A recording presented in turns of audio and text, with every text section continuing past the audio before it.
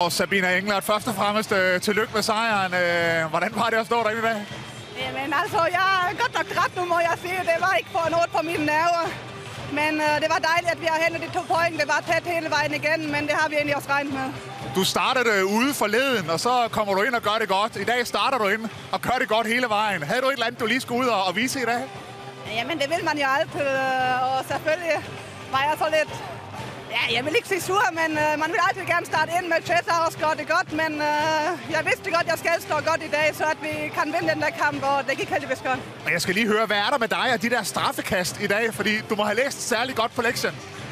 Nej, det har jeg egentlig ikke. Jeg har egentlig overhovedet set video på straffekast, og det tager jeg bare, som det kommer, og det er jo meget heroppe i hovedet, så ja. Det fungerer godt i dag i hvert fald. Tillykke med, med Tak. sejren. Godt målmandsspil. Holder hele tiden øjnene på bolden og plukker den ned. Se håndbold på TV2 Sport og Sport TV2.dk.